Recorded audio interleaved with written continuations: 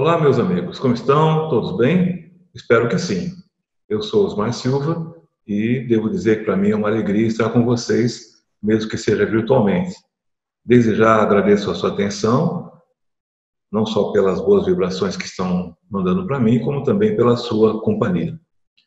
Eu queria começar pedindo à espiritualidade amiga que nos cubra de bênção, todos nós, e agradecendo aos nossos amigos espirituais pelo suporte e pelo apoio de sempre. Meus amigos, muito mais do que uma palestra, o que trago para vocês hoje são temas práticos para a gente refletir e que espero que sejam úteis para o nosso dia a dia. É, eu tenho certeza que você gostaria de se tornar uma pessoa melhor, tanto no âmbito pessoal quanto no profissional, espiritual. Não é verdade? Para muitas pessoas, muitos de nós, inclusive, esse desejo de melhorar constantemente, de estar sempre mudando, de amadurecendo, é o que as move se você se inclui nesse grupo, saiba que nunca é tarde para começar. E é sobre isso que nós gostaríamos de falar com você hoje. Vamos lhe dar algumas dicas que, se totalmente compreendidas e totalmente implementadas, poderão mudar sensivelmente as nossas vidas, fazendo com que sejamos mais felizes, mais saudáveis e dicas que poderão facilitar bastante o nosso desenvolvimento espiritual. Vocês verão, vocês verão que são dicas tiradas dos ensinamentos do nosso Mestre Jesus Cristo e que estão contidas no Evangelho segundo o Espiritismo e em várias outros, outras obras da literatura espírita. Vocês certamente já ouviram falar delas. Por isso, meu desafio hoje é muito grande, é dar a essas dicas uma roupagem diferente, mais prática. É claro também que vou ter que selecionar algumas, pois a quantidade de instruções e ensinamentos que Jesus deixou para nós é tão grande que jamais poderíamos citar todas elas em uma única palestra como a de hoje. Quem sabe, em futuras ocasiões, outra oportunidade, nós possamos dar continuidade a esses temas. Mas as que escolhi hoje são perdão, preocupação e ansiedade e mudança de hábitos. Eu entendo que todas elas são passos importantes para que a gente melhore constantemente. Mas o que tem esses três assuntos em comum? Todos contêm ensinamentos para que você mude sua vida, seu comportamento, a forma como você vê o mundo. Ao reservar alguns minutos para você refletir sobre quais são os seus comportamentos e quais deles são bons ou ruins, você terá a oportunidade de crescer e de evoluir. É claro que para isso você tem que estar disposto a mudar. Para se transformar em uma pessoa melhor, você precisa estar disposto a isso. Muitas pessoas são contra a mudança. Isso pode tornar muito mais difícil o seu processo de desenvolvimento. Enquanto você mantiver uma mente aberta e continuar disposto a mudar, você será capaz de ser a melhor versão de si mesmo, aquilo que você sempre almejou. Muitas vezes, no nosso dia a dia, as pessoas estão tão envolvidas com as tarefas que compõem sua rotina que não tem tempo de sair do modo automático, o piloto automático, e fazer coisas legais, bacanas, que fazem a diferença tanto para elas quanto para as demais pessoas que podem estar convivendo com elas. Se você está há muito tempo procurando uma maneira de sair da rotina e de se tornar uma pessoa melhor, em seguida vamos lhes dar algumas dicas práticas que poderão tornar a sua vida mais interessante e útil. Vamos lá? Provavelmente você esteja insatisfeito com a sua vida, provavelmente você esteja insatisfeito com você mesmo nesse momento. Talvez você tenha percebido que precisa ser menos ansioso, ou talvez tenha percebido que está ficando doente com mais frequência. Pode ser que você tenha visto uma palestra e quando chegou ao final dela você se pegou pensando que, puxa, afinal eu tenho mesmo alguns defeitos e como seria bom se eu pudesse resolvê-los, se eu pudesse eliminá-los, não é? Essa história parece familiar para você? Sim, deve ser mesmo. E certamente você não é o único a ter passado por isso. A boa notícia é que a solução para esse problema é mais simples do que você pensa. Nesse encontro de hoje, eu me proponho a mostrar a você algumas dicas que poderão mudar bastante a sua vida e a sua satisfação consigo mesmo. Todas estão no Evangelho, como já disse para vocês, e são parte do ensinamento de Jesus. Por exemplo, na questão 909 do Livro dos Espíritos, Kardec pergunta aos nossos amigos: O homem sempre poderia vencer suas más tendências mediante seus próprios esforços? E os nossos amigos espirituais respondem que sim, e às vezes até com pouco esforço. Mas eles completam. O que lhes falta é a vontade. E completam mais ainda. Ah, como são poucos os que se esforçam entre vós. Veja então que para mudar a sua vida, tudo só depende de você, tudo só depende do seu esforço. Você vai ver que essas dicas são muito fáceis, mas para ter sucesso é preciso apenas que você esteja realmente comprometido a ir até o final e não desista da primeira dificuldade. Portanto, mesmo que as dicas sejam realmente fáceis, não procure atalhos. Atalhos são curtos por uma razão. Eles não duram. E o que você quer é uma mudança permanente, não é? E não espere também que a mudança caia do céu, porque ela não vai cair do céu. Não tem um jeitinho rápido e fácil para a gente nos transformar. Qualquer coisa que vale a pena na vida exige um esforço igualmente grande. E você só terá sucesso com as mudanças se torná-las um estilo de vida. Combinado? Então, como eu lhes disse, a primeira dica é aprenda a perdoar. Vamos falar sobre perdoar e ser perdoado? O perdão é alguma coisa que impacta a nossa relação com o próximo, com a vida, com Deus, conosco. O perdão é um dos, é um dos pilares dos ensinamentos de Jesus. Não perdoar afeta nossos relacionamentos com pessoas que amamos ou que são importantes para nós. Não perdoar nos adoece, nos intimida, nos deixa magos. Enfim, não perdoar tira o brilho da nossa vida. Perdoar não é apenas um ato de generosidade para com alguém. É principalmente um ato de respeito a Deus. É também um ato de amor para nós mesmos. Se quisermos ter um coração mais leve, o perdão precisa ser um hábito.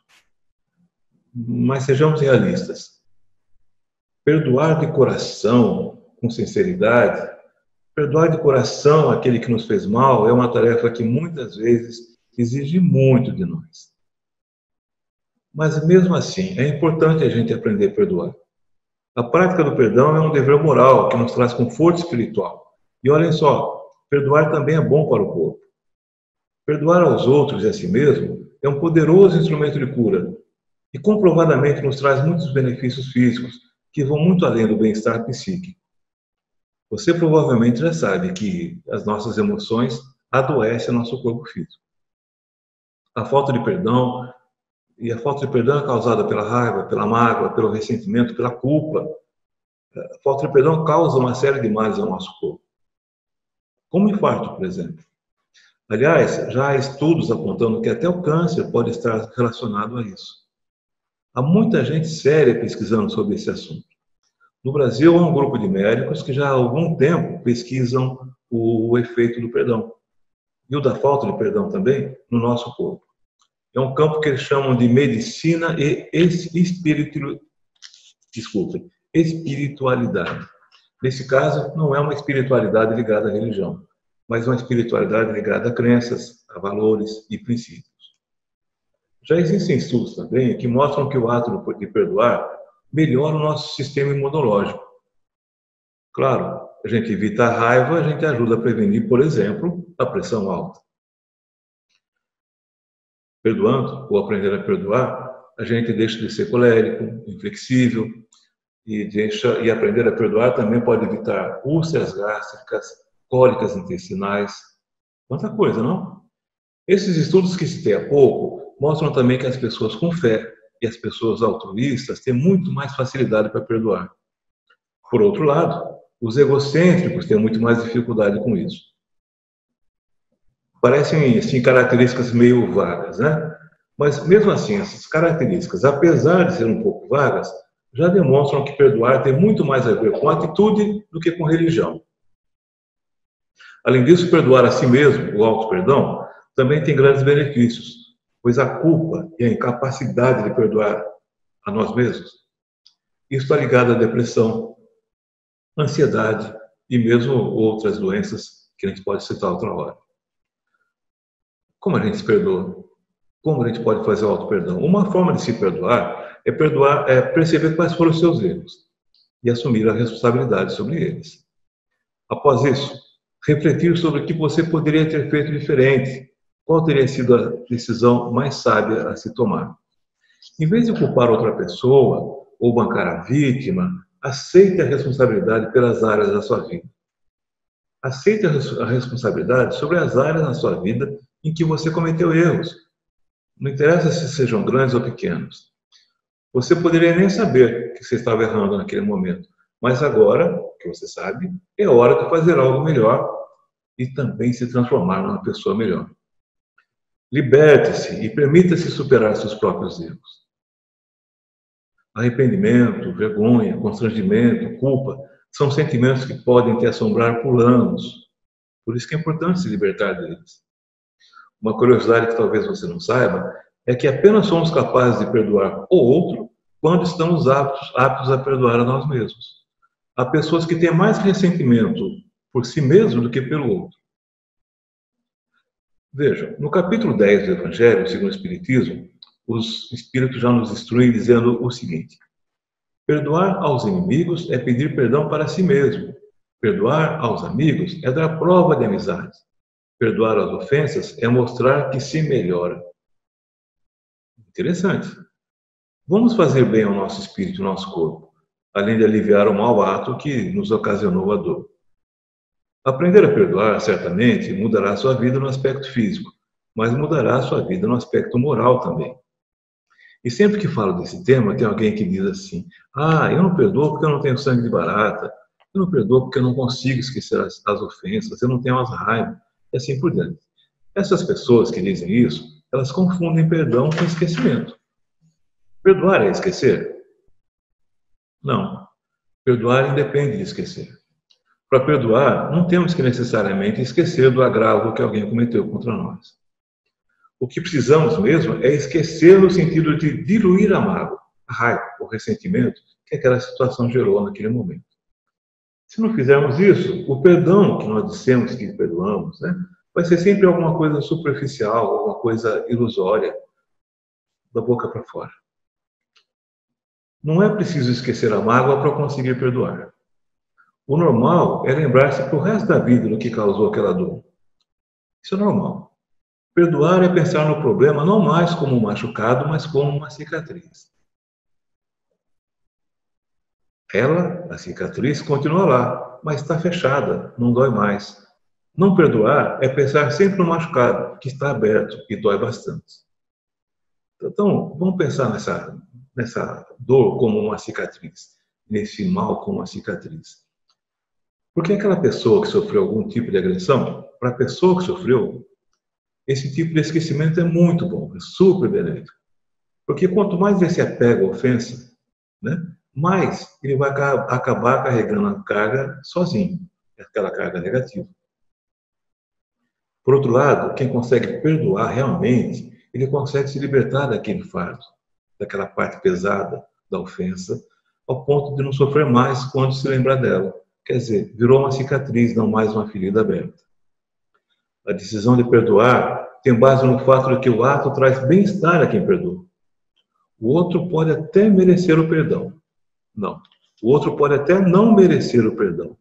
Mas quem sofre mesmo, mesmo é quem não perdoa. Mesmo que para algumas pessoas o perdão ainda seja entendido como um ato de fraqueza, olha só, tem quem pense assim é a maior dádiva que podemos conceder a nós mesmos, não ao outro, a nós. Perdoar é muito bom para nós. Divaldo, nosso mestre Divaldo Pereira Franco, ele diz que perdoar é bom para quem perdoa. Eu entendo que o que ele quis dizer com isso é que quem perdoa se livra do peso que carregava. Pois perdoar é um ato, vamos chamar de bilateral. Quem perdoa liberta a si mesmo e liberta o outro também. E quem foi perdoado nem sempre alcança a mesma graça, pois ele assumiu um ônus pelo qual vai responder mais cedo ou mais tarde, mesmo que ele seja perdoado. Quer dizer que ele vai pagar por isso? Então, você pode ser que você esteja pensando, então, bom, então nós voltamos à lei de Italião, à lei do dente por dente, olho por olho. Não se trata disso. O que predomina nesse caso é, é a misericórdia divina, é a nossa conhecida lei da causa e efeito. A lei segundo a qual Deus nos dá a oportunidade de resgatar nossos erros, não necessariamente através da dor, mas também pela força do amor e da doação. O ódio, o rancor demonstram uma alma sem evolução. Mas à medida que vamos evoluindo, aprenderemos que perdão e esquecimento não são coisas separadas. Ao contrário, perdão e esquecimento devem caminhar juntos. Aliás, a própria lei da reencarnação nos ensina que só o esquecimento do passado pode preparar a alvorada da redenção. Dá para notar então por que, eu escolhi perdão como nosso primeiro assunto de hoje? Porque o nosso conceito de perdão ainda precisa ser aperfeiçoado. Precisamos entender melhor o que é o, o perdão. Nosso conceito tanto pode ajudar quanto limitar nossa, nossa capacidade de perdoar. Por isso é importante que a gente entenda melhor. Talvez a gente faça essa confusão, que é a leitura que fizemos na nossa vida inteira da anotação do apóstolo Mateus, quando conta que Pedro chegou a Jesus e perguntou a ele: Mestre, quantas vezes pecará meu irmão contra mim e eu lhe perdoarei? E Jesus responde: Não te digo que é até sete, mas até setenta vezes sete. Então, talvez, por acharem que o perdão seja uma obrigação, como parece pela leitura do, do texto, Alguns entendem, né, devido às nossas crenças negativas, aqueles tabus que crescemos com eles, que perdoar é ser apático com os erros alheios, que perdoar é aceitar passivamente tudo que os outros nos fazem. É sempre perdoar quando sofremos agressões, abusos, desrespeito, como se nada tivesse acontecido. Mas perdoar não é apoiar comportamentos alheios que nos firam fisicamente ou física ou moralmente. Perdoar não é ser conivente com as condutas inadequadas de parentes, amigos, mas sim ter compaixão. Quer dizer, entendimento maior através do amor incondicional. Perdoar também não é negar nossos próprios sentimentos, nem reprimir nossas emoções. Perdoar, no meu modo de ver, é um modo de vida, é um modo de viver. Apesar que muitas vezes o ser humano usa o perdão como uma desculpa para fugir da realidade. Às vezes, até ele perdoa pensando que se agisse de forma diferente, poderia arriscar, quem sabe, toda uma vida de relacionamento. Bom, a gente precisa aprender a perdoar. Mas você acha que dá para aprender a perdoar? A gente já não nasceu sabendo ou dá para aprender a perdoar? Claro que dá. Quer saber qual a forma certa de fazer isso aí? É a sua forma. Vou compartilhar com você uma, umas ideias, né? mas você tem que lembrar o seguinte: o perdão não é uma coisa linear, não é universal e nem faz parte de uma ciência exata. Sendo assim, cada pessoa pode incorporá-lo de sua própria maneira, no seu próprio ritmo e de acordo com a sua evolução espiritual. Tá certo? A minha primeira sugestão para que você aprenda a perdoar é que você deve compreender que o perdão verdadeiro exige de nós profundas alterações nas estruturas da nossa da nossa consciência. Outro ponto. Vamos recordar dos nossos, dos nossos dos nossos erros, dos nossos impulsos equivocados, das pequeninas coisas que atiramos sobre nossos companheiros, dos nossos erros infelizes que talvez tenham magoado outros também. Sugiro também que você pare de buscar razões para se sentir ofendido. Seja um pouco menos melindroso. O sentimento de ofensa decorre do julgamento de uma ação do outro. É o nosso espírito crítico que está sempre julgando as ações de outras pessoas. Pensamos que o que ele fez foi estúpido, foi cruel, foi arrogante, foi agressivo, foi insensível, sei lá. Cada caso é um caso e a lista é muito grande. Com base nesse julgamento, a gente acaba escolhendo acreditar que nós temos o direito de nos sentir ofendidos. Quando isso acontecer, reconheça o pensamento, deixa que ele vá, deixa que ele parta. Não se apegue a ele. Ao nos apegarmos a esse julgamento, tendemos a ruminar sobre a atitude do outro que nos feriu. Aquela ideia que fica martelando na nossa cabeça, buscando justificativas para fomentar o nosso ressentimento contra ele. É um processo tóxico esse, meu irmão. Um processo tóxico que nos mantém presos a sentimentos negativos e que não nos ajuda de forma alguma a resolver a situação. Sugiro também que você esqueça o passado um pouco e comece a viver o presente. Se não ficou claro das coisas que eu falei anteriormente, esclareça agora. A ruminação, o ressentimento, são sinônimos de apego a um evento passado. Porque para ele se manifestar em você, o ressentimento e a ruminação, é você tem que manter lembrança do que aconteceu no passado. deixa para lá o passado, o ressentimento vai embora também. Lembra? É no presente que a gente constrói as memórias e a vida que sonhamos. Ao invés de tentar mudar algo no passado, que não pode ser alterado mesmo, foque em cultivar a vida que você deseja construir hoje. Por último, sugiro que você faça uma autoanálise. Fazendo uma avaliação sincera, quem sabe aprenderemos que não só quem nos ofende, mas nós também possuímos fragilidades de caráter e igualmente precisamos ser perdoados 70 vezes 7. Ou tantas vezes quanto forem necessárias para descobrirmos dentro de nós o nosso Deus. Para concluir esse pedaço, eu lembro, lembro que, esquecendo ou não, se o perdão é algo muito importante para mim, é muito importante para quem é perdoado, é ainda muito mais importante para aquele que tem a felicidade de conseguir perdoar. Porque quem perdoa já cresceu no amor. Na minha vida profissional, eu tenho sempre me esforçado para fazer as pessoas entenderem que não há evolução sem amadurecimento. Eu acredito firmemente que o perdão seja um dos processos de amadurecimento mais poderosos que o nosso corpo e a nossa mente conhecem. A capacidade de perdoar nós mesmos, aos outros, e nossa capacidade de reconhecer nossas falhas e e pedirmos perdão, inclusive, e já está dentro de nós. Só que ela precisa ser exercitada até que ela vai fazer parte permanente da nossa personalidade. Então, quando estivermos à frente do nosso agressor, não vamos dizer mais, eu te perdoo.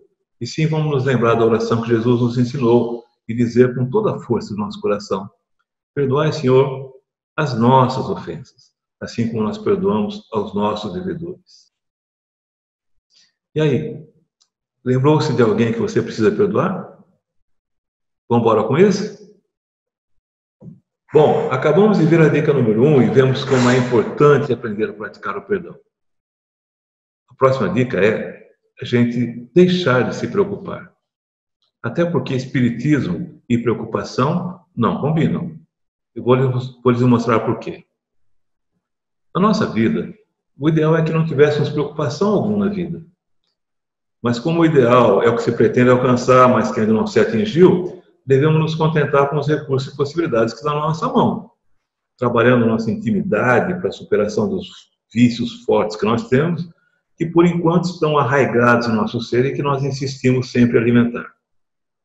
Lembra a história do lobo bom e do lobo mau que convivem dentro de nós? Muitas vezes a gente opta por alimentar o lobo mau. Preocupar tem o significado de causar preocupação. A preocupação, como o próprio termo expressa, é a ocupação antecipada com qualquer coisa, com qualquer acontecimento, com qualquer pessoa. Pode ser aquelas questões domésticas, pode ser aquelas questões profissionais, as questões sociais. São muitas coisas que pesam sobre nossos sentimentos, nossos pensamentos, nosso humor. São problemas que envolvem os filhos, por exemplo o vestibular das crianças, a viagem para o exterior, aquele curso novo que nosso filho vai começar. São tantas incertezas, né? Será que o garoto vai conseguir superar todas, todas as etapas? E se ele não conseguir, como é que ele vai reagir?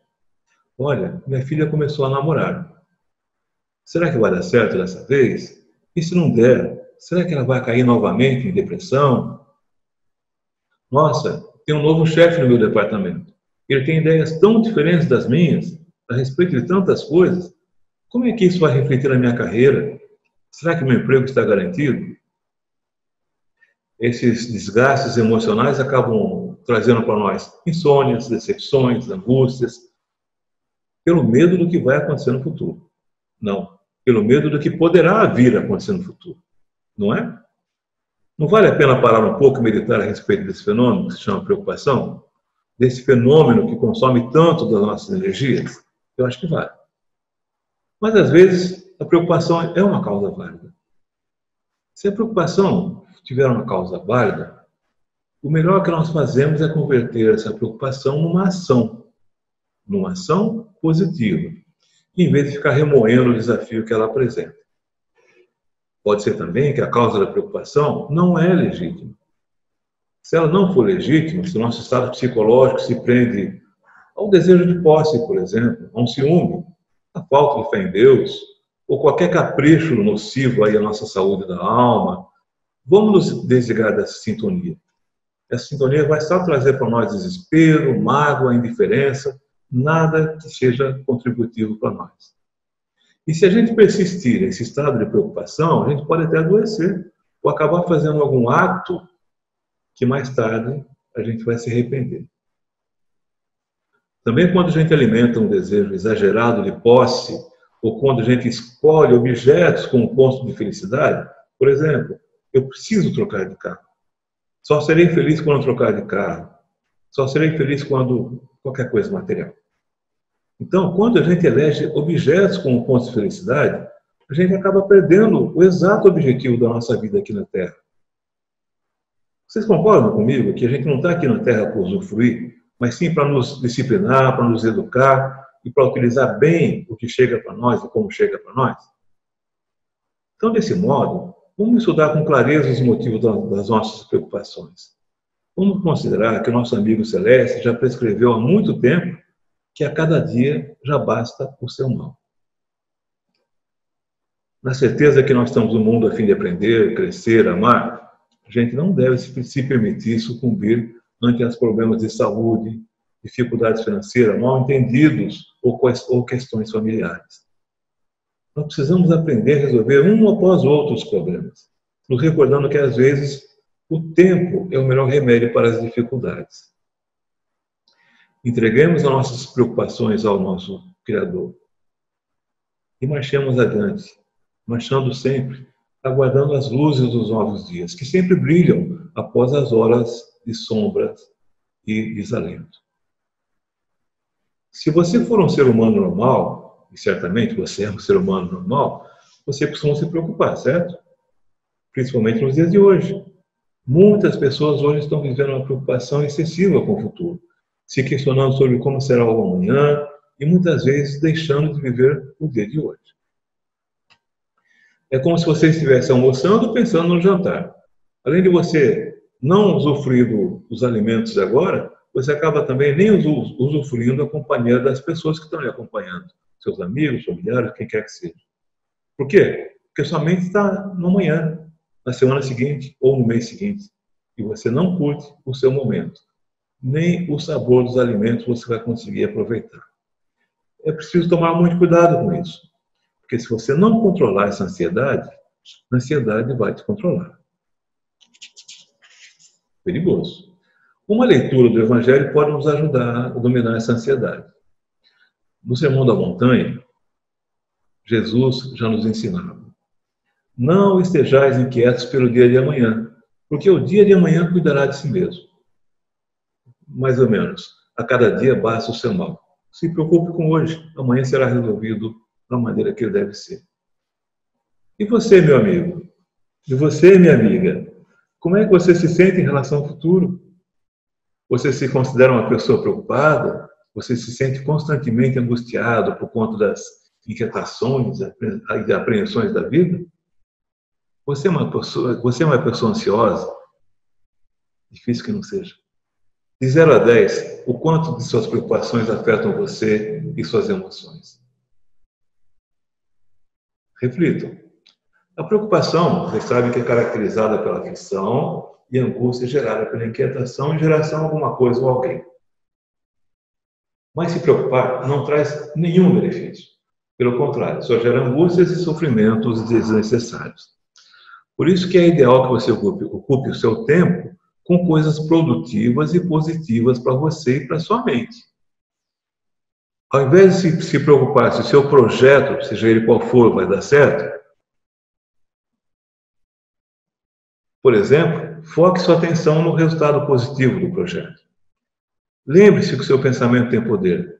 Quanto mais você pensar que será bem sucedido em seu projeto, mais otimista você estará em relação ao resultado final. Veja, portanto, que a preocupação é um obstáculo para o seu sucesso. Nós somos o que pensamos. E nossa imaginação tem o poder de criar e de modificar realidades.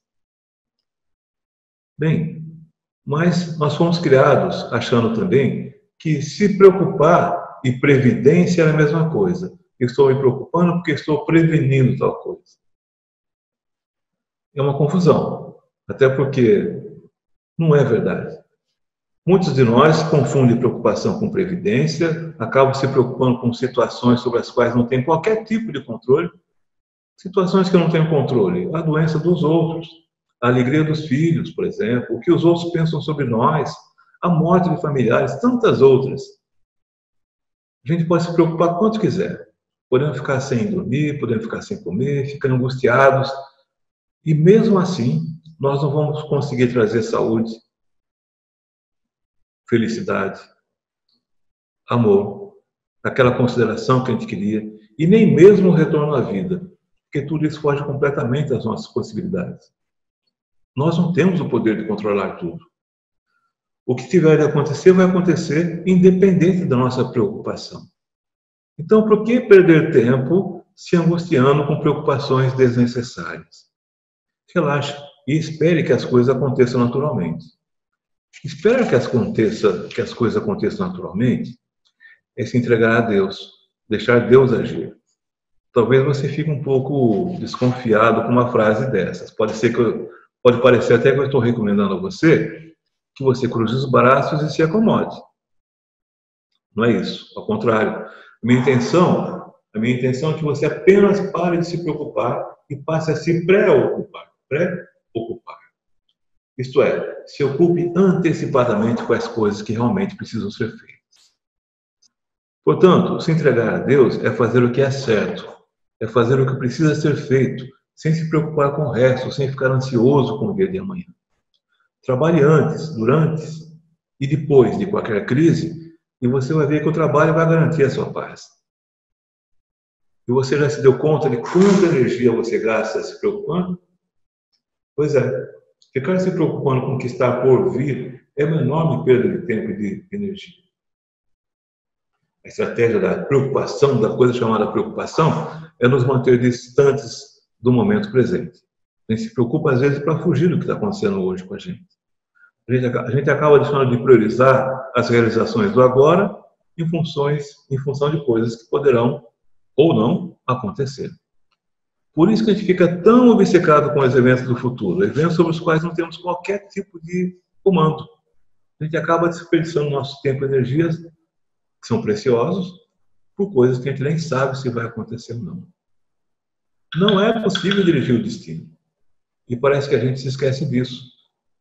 Parece que a gente se esquece que tudo que podemos e devemos dirigir é somente nossas próprias vidas. Se você está preparando um encontro, uma festa, está se preparando para uma entrevista de emprego, ou boleto que vai vencer, você precisa guardar sua energia para resolver o problema, para fazer o que deve ser feito no momento em que deve ser, ser resolvido. Mas quando você se preocupa antes, você gasta toda essa energia. E na hora em que o fato acontece, você já está exausto, cansado, sem forças, sem disposição, sem inspiração, sem criatividade para resolver o que quer que seja. Já gastou todas as energias. Você percebeu também que a maioria das coisas com que você se preocupa quase nunca acontece? Pense que quando você se preocupa, você está duvidando da sua capacidade de resolver eventuais problemas. Quando você se preocupa, você demonstra que não confia em si mesmo. A esperança por um futuro melhor, somada a muito esforço e trabalho, tem que trabalhar. Ajuda a acabar com essa ansiedade. Confiar em Deus, ter fé, isso acaba com a ansiedade. Quando você confia na vida, na providência, em você mesmo, você está confiando em Deus. Sem essa fé, podemos nos tornar realmente neuróticos, ansiosos e infelizes. Por outro lado, quando há confiança, existe fé. E é essa fé que abre esse fluxo divino para a manutenção e a prosperidade da nossa existência. Esse fluxo, fluxo que nos dá a proteção que buscamos em todos os níveis da nossa vida. Meu amigo, minha amiga, não se aflija por antecipação. Por quanto é possível que a própria vida resolva o seu problema, ainda hoje, sem qualquer esforço de sua parte. Não é a preocupação que aniquila a pessoa. O que aniquila a pessoa é a preocupação em virtude da preocupação. Lembra que antes das suas dificuldades de agora, que você está passando hoje, ou pode estar passando hoje, você já enfrentou inúmeras outras dificuldades. E já se livrou de todas elas, com o auxílio invisível de Deus e da espiritualidade. Por maior que seja o seu sofrimento, e pode ser muito grande, lembre-se que Deus, que aguentou você ontem, aguentará você também hoje. Ok? Voltando àquele caso da Previdência, nós crescemos achando que se preocupar é ser previdente, é sinal de responsabilidade e prudência. Mas, como eu falei também, não devemos confundir preocupação com previdência, pré-preocupação com previdência, porque se preparar para realizar planos do futuro é um sinal de bom senso, é um sinal de lógica. Mas prudência, prudência não é preocupação. A prudência é sensata, moderada, ao passo que a preocupação é irracional, é uma coisa que paralisa a gente. Por fim, vamos lembrar que sempre que o Criador provê suas criaturas com o necessário. Deus conhece as nossas necessidades e nunca deixa ao abandono aqueles que nele acreditam. Na sua suprema bondade, na sua suprema inteligência, Deus não criaria em nós uma necessidade sem nos dar os meios de supri-la. Veio dos pássaros no céu, veio dos lírios do campo. Se nem sempre Deus nos dá o auxílio material, sempre inspire em nós as boas ideias para que encontremos os meios de sair da dificuldade. É eterna divina providência, sempre alerta, sempre a postos. Observe como a vida se comporta, deixe de se preocupar, olhe para a nossa criação divina e para o futuro que nos espera. As preocupações é, excessivas pode afetar não apenas a nossa saúde física, mas também a saúde mental. As preocupações desnecessárias causam angústia e podem potencializar ainda mais o estresse, gerando fobias, mal-estares, dores de cabeça, entre diversos outros problemas. Certamente você deve ter sua própria lista. Portanto, cuide de si mesmo, cuide de sua mente. Evite focar sua atenção em preocupações desnecessárias. Seja uma pessoa otimista, Adote uma visão positiva da vida. As nossas experiências da vida não acontecem por acaso. O planejamento divino nada faz sem um desígnio proveitoso. Tudo tem sua razão de ser. Não é, não é preciso desespero nem preocupação. Tudo acontece como tem que acontecer. Mude seus hábitos, faça a sua parte, confie em Deus. É difícil? É difícil. Tente, persista. Você consegue. E por falar em mudança de hábitos, chegamos à dica número 3, que é abandone velhos hábitos. Hum, será que já paramos para pensar nos hábitos que temos? Você já parou para pensar nos seus hábitos? Se eu pedisse para você agora se recordar de algum, nesse exato instante, talvez você se lembrasse de bate-pronto assim dos hábitos relativos à saúde do corpo, por exemplo, da higiene diária, sem dúvida, são hábitos importantes, necessários, né? salutares, inclusive. Pode ser, pode ser também que você se recordasse dos seus hábitos de cordialidade, de agradecer, de pedir desculpas, pedir por favor, de ser gentil com as pessoas em lugares públicos, por exemplo. Mas nossos hábitos são muito além disso aí. O exemplo de hábito, o hábito de julgar as pessoas por sua aparência, pelo jeitão de cada um. Se bate o olho, já cria uma imagem da pessoa nem sempre essa imagem é a imagem correta. Com licença. Toda vez que a gente encontra alguém novo, um estranho, rapidamente a gente já faz o julgamento prévio daquela pessoa na nossa mente, e sempre nos servindo de clichês daquelas crenças há muito tempo adquiridas. Isso é um hábito, é um costume que, por vezes, a gente nem sabe que possui. Outro exemplo, o costume de interromper as pessoas quando estão explanando uma ideia desenvolvendo um raciocínio. A gente já quer concluir o pensamento delas sem aguardar que ele complete as palavras dele. É claro, que a gente, é claro que a gente perde com isso, porque a gente deixa de ouvir o que verdadeiramente as pessoas desejavam expressar. São hábitos ruins, não são? Hábitos que podem nos tornar desagradáveis, indesejáveis, até afastar de nós as pessoas de quem gostamos. Outros hábitos ruins ou vícios também devem ser, devem ser eliminados da nossa vida. Drogas, álcool, qualquer outra coisa. Então, e agora? Você consegue fazer um balanço dos seus hábitos? Quais são os seus hábitos que promovem o bem? O bem seu ou o bem dos demais? Quais são os seus hábitos que são prejudiciais? Aqueles que não fazem bem a nós e nem à sociedade. Quer pensar um pouquinho? Você sabia que se você conseguir identificar esses hábitos e descobrir como mudá-los, principalmente mudar os hábitos ruins, de uma vez, né? Por todas, você pode transformar a sua vida? Duvida? Ou acha exagero? Eu vou provar a você que não. Você certamente já reparou que tem pessoas que têm tudo para dar certo na vida. Estudaram em bons colégios, fizeram boas faculdades, tiveram uma boa condição financeira, tiveram uma família com pais presentes e amorosos, tiveram condições que muita gente não teve. E mesmo assim não conseguiram ter sucesso na vida. Não fizeram muitas coisas na sua vida. Repararam também que tem outras pessoas que não tiveram acesso a essas mesmas coisas, essas mesmas oportunidades, mas mesmo assim conseguiram virar o jogo e conquistaram muito sucesso e vitória em sua vida? Você vai me dizer, ah, isso é sorte. Né? Mas às vezes as pessoas dizem que isso é sorte para justificar os seus próprios fracassos, não é verdade? Porque sorte, principalmente nesse caso, não existe. Então, se não é a sorte que faz a diferença, o que é que faz a diferença? Qual é o fator que leva algumas pessoas a serem bem-sucedidas enquanto outras jamais alcançam seus objetivos? E permanecem naquela mesma situação por toda a vida? Eu diria, minha opinião, que tudo se resume à adoção e à prática de bons hábitos, hábitos de sucesso. Isso porque nós, homens e mulheres, somos criaturas de hábitos. Mas somos escravos dos nossos hábitos. Estamos sempre repetindo alguns procedimentos padronizados. A verdade é que temos cada vez mais compromissos e responsabilidades e cada vez menos tempo para dar conta de todos eles. Aí a gente acaba levando uma boa parte da nossa vida no piloto automático. A gente não quer nem pensar, vai pelo que nós estamos habituados. Você até já deve ter usado essa, essa expressão, né, do piloto automático, mas talvez não soubesse que ela faz tanto sentido. Olha, quase metade das nossas ações, das ações que você realiza, que eu realizo no dia a dia, não são ações pensadas.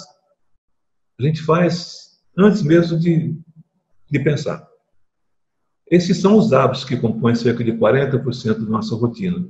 Não sou, eu, não sou eu quem digo isso, é uma pesquisa da Universidade de Duke dos Estados Unidos.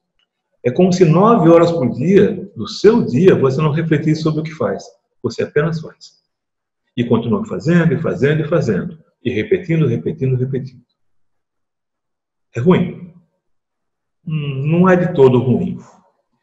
Porque os hábitos acabam nos ajudando na vida.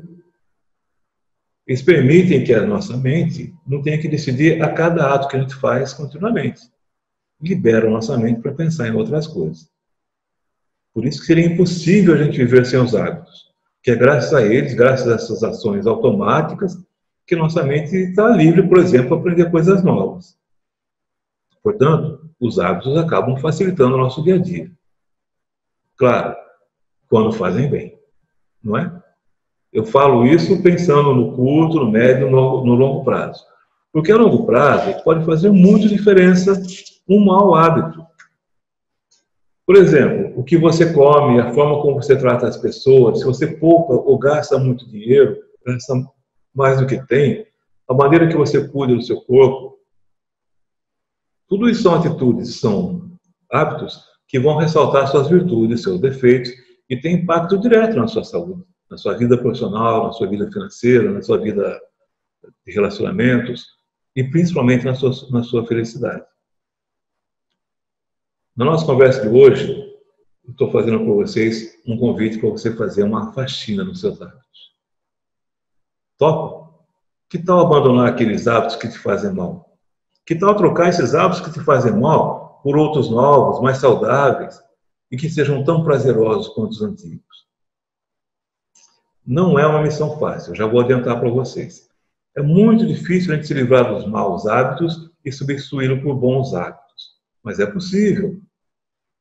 Por sorte nossa, os velhos hábitos, por mais arraigados que sejam entre nós, eles podem ser mudados. Para isso, tem que ter disciplina, tem que ter força de vontade, né? Pensar, inclusive, que as recompensas para quem precisa são boas, não só na saúde, no bem-estar, mas também na vida profissional, nos negócios, na vida espiritual. Há uma recompensa para quem muda do, dos maus hábitos para bons hábitos. É isso. É um grande motivador para você fazer essa mudança. E de onde vêm esses hábitos, hein, gente? Eles, eles vêm da nossa infância, eles vêm da maneira que fomos criados, eles vêm do meio em que crescemos, eles vêm da TV, da mídia, de tudo. Eles vêm de inúmeras fontes. Mas a gente mesmo quase nada. A gente adquire esses hábitos exteriormente. Em algum momento, mas isso também acontece que em algum momento da nossa vida a gente aprende alguma coisa, incorpora essa coisa nos nossos hábitos e passamos a praticá-la no nosso dia a dia. E acaba ficando tão incorporado em nós que sequer pensamos nele. É daqueles hábitos que você faz parte dos seus 40% do dia ali. Mas a maioria deles foi imposta a nós, né? Isso não quer dizer que nós não somos responsáveis por eles. Por exemplo, em algum momento da nossa vida, vamos pensar, você era pequeno, seus pais tomaram a decisão de colocar você na escola X. Você não participou dessa decisão, nem de que escola seria matriculado, nem se seria matriculado, nem se você deveria ir na escola. Então, isso não quer dizer que você não tenha responsabilidade disso. Porque o importante é o seguinte: não é o que foi feito, mas é como você vai fazer. Tá certo? É como fazer isso aí. Essa escolha de como fazer as coisas que fazemos é determinada pelo nosso padrão de pensamentos. Nós somos mesmo capazes de automatizar diversas ações, diversas condutas, desde que seguidamente repetidas, né? Claro, independentemente do teor que fizemos.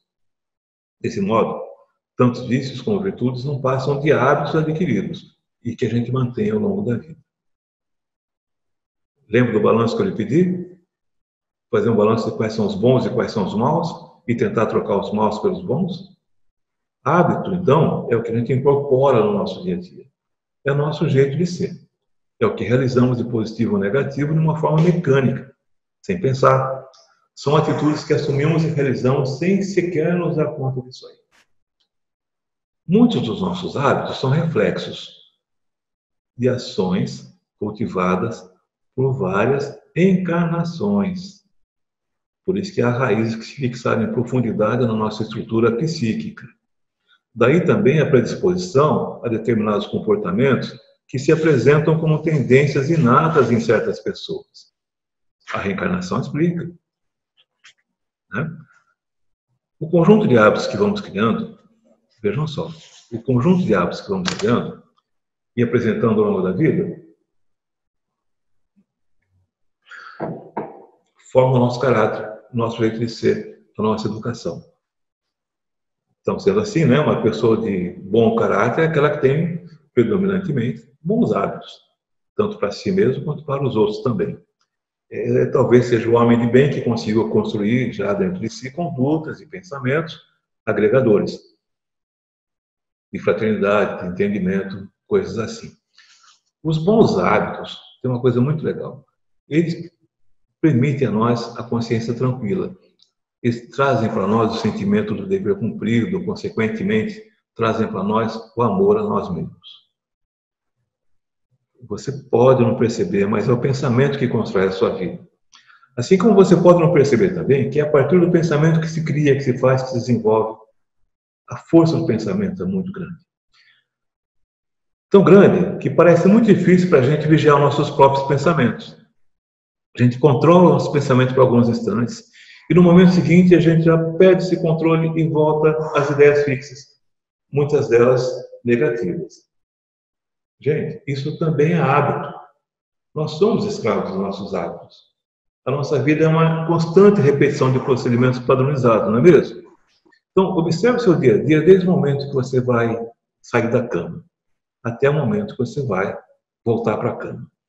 O seu dia você vai ver que é uma sucessão de hábitos: escovar os dentes, tomar banho, tomar café, trocar de roupa, trabalhar, estudar, almoçar, ir ao banheiro, jantar, televisão, internet. Ufa! Muitas vezes você nem pensou no que você fez. É raro também a gente fugir de coisas que das coisas que desse padrão de comportamento, né? Mas você pode me dizer assim, mas nem tudo é assim, tem coisas que eu faço que eu não considero o hábito, é uma exceção. Analise com cuidado. Essas exceções provavelmente não passam de hábitos que são praticados mais espaçadamente. Vamos chamar assim, são hábitos especiais. Não é como o banho que você toma todo dia. Espero que sim. Né? Não é como o banho que você toma todo dia. De repente é um hábito que você faz uma vez por mês, uma vez eventual, tá certo? Mas, de qualquer maneira, seu comportamento, suas atitudes, seu modo de, modo de pensar, tudo isso são hábitos. Nós sabemos que os animais são guiados pelo instinto, não é? Nós, porém, nós temos livre-arbítrio. Temos consciência, temos escolhas, temos anseios, temos ideais, temos vontade. Nós temos vontade, por exemplo, de ser melhores do que somos. Nós buscamos a tal da reforma íntima. Mas, assim como os animais são guiados pelo seu instinto, nós somos guiados pelos nossos hábitos. A cada reencarnação que a gente está aqui na Terra, a gente procura nos disciplinar mais. No universo, tudo é harmonia, tudo é disciplina, não é verdade? Mas adquirir disciplina, principalmente aqui na Terra, também é questão de hábito. Os vícios e virtudes são hábitos, como nós falamos antes. Quem fuma, por exemplo, é escravo de um vício, que é um mau hábito. Quem é solícito é escravo de outro hábito, que é uma virtude, que é um bom hábito. Sendo assim, gente, já que somos escravos de nossos hábitos, se quisermos crescer nossa vida, precisamos urgentemente adquirir bons hábitos e abandonar os maus. Concordam? O Espiritismo explica para nós que a reforma íntima deve partir de dentro para fora. Aliás, é por isso que chama reforma íntima, né? Porque é algo que deve nascer do nosso íntimo. É do nosso íntimo que nasce a vontade de ser melhor. Mas é claro que não podemos esperar que o nosso íntimo fique reformado, bonzinho, assim, de repente, e daí passe a comandar nossas novas posturas, nossas novas atitudes. Não dá. Para fazer essa reforma íntima, a gente não pode esperar um momento de iluminação, o momento em que nosso pensamento estiver purificado. Tal. Porque nós só vamos aprender a colocar esses anseios de reforma íntima em prática quando mudarmos os nossos hábitos. Se a gente for esperar uma mudança sensível internamente falando, para só depois modificar nossos hábitos, é muito provável que nessa reencarnação a gente não tenha tempo para fazer tudo. A gente vai continuar escravo dos nossos hábitos atuais. Então, que tenhamos hábitos melhores. De nada valem pensamentos nobres, boas intenções, se o comportamento não é condizente com esses pensamentos e com essas boas intenções. Para abandonar um mau hábito ou um comportamento negativo e conquistarmos um bom hábito ou uma virtude, nós precisamos, principalmente no início do processo, de muito esforço, de muita atenção. Veja o que Emmanuel, Emmanuel fala sobre a virtude. Ele falou o seguinte: a disciplina antecede a espontaneidade. Antes dele virar uma coisa natural, que a gente faz sem pensar, nós temos que ser muito disciplinados, tem que ser muito severo nas nossas atitudes para poder adquirir essa disciplina. Quer dizer, com o passar do tempo, desde que a gente persevere, o novo comportamento aí sim vai adquirir, adquirir autonomia. Aquilo que eu falei de fazer sem pensar. E pouco a pouco ele deixa de ser pensado e passa a ser automático e passa a ser uma coisa natural para nós. Se você tem um hábito de fazer caridade, está começando a ter o um hábito de fazer caridade, persista, uma vez, duas, três, tal, tal. Vai chegar um momento que você não vai poder viver sem aquilo mais, vai virar uma coisa natural para você. Persistência. Um dia ele vai ficar totalmente natural. O vício, ao contrário, não é tão difícil. Porque todo vício começa, claro, com uma boa sensação, uma satisfação, né? Ele dá uma satisfação a quem o comete. E é por isso que estimula a repetição dele. Né? Essa repetição acaba criando um comportamento compulsivo, e quando esse comportamento compulsivo não é atendido, ele acaba gerando, inclusive, sofrimento por abstinência. Certamente você já conhece isso. E ouvi falar, claro. Como é que a gente pode evitar isso? Vigiando a própria conduta. Orar e vigiar. Lembra disso?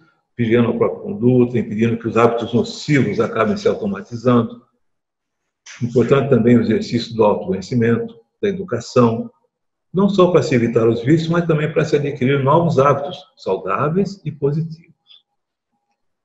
Se nos conhecêssemos melhor, teríamos, uma avaliação mais precisa do nosso caráter. Nós precisamos nos conhecer melhor para saber exatamente o que, que somos, o que fazemos, quanto valemos. Na questão 919 do Livro dos Espíritos, Santo Agostinho já nos dá uma maneira simples de praticarmos esse exercício do autoconhecimento. Diz Santo Agostinho que todas as noites, antes de dormir, ele interrogava a sua consciência e perguntava se tinha faltado algum dever, se tinha, se alguém tiver algum motivo para se queixar dele, e ele completa assim: Foi assim que cheguei a me conhecer e a ver o que em mim precisava de reforma. Perceberam? Que receitinha mais simples. Não custa nada. É só, antes de dormir, pensar dois minutinhos sobre o que eu fiz hoje. Magoei alguém? Prejudiquei alguém? Prejudiquei a mim mesmo? Me magoei? E se eu fiz isso aqui, como eu conserto? Como eu corrijo? Obrigado, Santo Agostinho. Já no que se refere à educação, acabamos de falar aqui do autoconhecimento. Já no que se refere à educação, nós, lembre-se disso sempre, nós somos privilegiados, nós conhecemos o Espiritismo. Nós sabemos que o Espiritismo, através dessas inúmeras casas espíritas que existem, e também das obras básicas de Kardec, dos livros de André Luiz e tantos outros aí, o Espiritismo oferece para nós importantes instruções, muitos esclarecimentos a todos aqueles que queiram se educar e modificar seus comportamentos. Se a gente souber aproveitar bem esses recursos que a doutrina nos oferece, certamente aproveitaremos muito melhor essa jornada terrestre aqui. Atenção também para a chamada lei da afinidade. Nós sabemos que os desencarnados exercem grande influência sobre nós encarnados, não é isso? Tanto que às vezes eles podem nos induzir a certos hábitos. Mas sabemos também que cada um escolhe, conscientemente ou não, suas próprias companhias espirituais, através do pensamento, das intenções e dos desejos. Então, é claro que a responsabilidade pelos atos sempre é individual, é intransferível, porque cabe a mim, cabe a você, cabe a cada um a escolha das consciências que vão nos influenciar. É importante, então, que nós tenhamos clareza de que somos nós os criadores dos nossos hábitos. Sendo assim, nós somos capazes, desde que a gente queira, claro, de modificá-los ou de substituí-los. Os nossos hábitos terão a força que nós demos a eles e vão se fortalecer ou não de acordo com as nossas decisões, opções, condutas. A vivência de princípios éticos, éticos elevados, né, aqueles, como aqueles que são estabelecidos pelo Espiritismo, por exemplo, pode colaborar muito na, na formação dos hábitos saudáveis. Pode colaborar, inclusive, para fazer com que nós tenhamos uma vida mais uma vida cada vez mais plena, mais significativa. Sempre em harmonia com os nossos desígnios divinos. A consciência espiritual, pois, quanto mais desperta e mais amadurecida, mais vai se tornar soberana sobre todos os aspectos da nossa existência.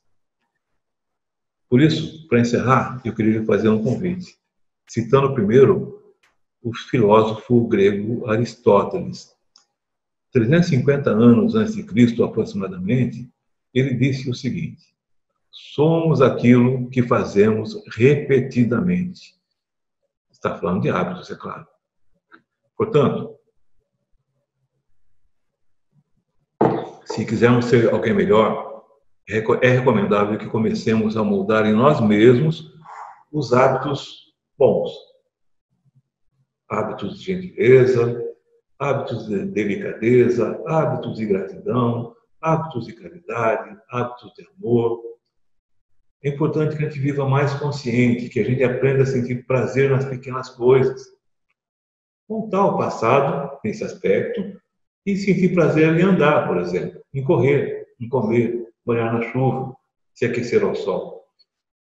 Que a gente aprenda a olhar para as estrelas, a nos maravilhar com uma noite luarada, a vibrar com a música, com o perfume, com as pessoas. Lembra que os hábitos fazem parte de 40% do nosso dia. Quer dizer, metade do nosso dia a gente passa no piloto automático, tomando decisões baseadas em ideias já estabelecidas em nosso inconsciente. Nem sempre essas ideias são boas, nem sempre as ideias nos farão bem. Está na hora de a gente começar a fazer a faxina, fazer o balanço dos nossos hábitos. Se a gente passa quase metade do dia cultivando hábitos destrutivos, que não contribuem em nada com nossos objetivos, como é que a gente pode esperar resultados satisfatórios? Você quer ser alguém melhor, eu tenho certeza. Então faça essa viagem para dentro de si mesmo. Perceba que você pode melhorar, melhorar muitas coisas que, afinal, vão proporcionar a você dias muito melhores. Abandone seus hábitos nocivos e se torne mais feliz agora, desde agora. Preste mais atenção na voz do seu coração. Coloque em prática o sentimento de serenidade. Tire um momento para refletir. Pare para ouvir o que você tem a dizer para si mesmo. Comece a fazer com que as palavras que abrem o coração sejam habituais em seu vocabulário. Olha que hábito legal. Use essas palavras. Eu te amo. Me desculpe. Obrigado. Por favor. Pessoal, sou muito grato por esse espaço. Sou muito grato por essa oportunidade de falar com vocês. Sou muito grato por vocês terem me ouvido até agora. Eu espero que a prática do perdão passe a ser um hábito em nossas vidas e que a preocupação, que a preocupação deixe de roubar nossos melhores momentos de vida. Que Deus nos proteja sempre, que Deus proteja todos nós. Muita luz. Um abraço a todos.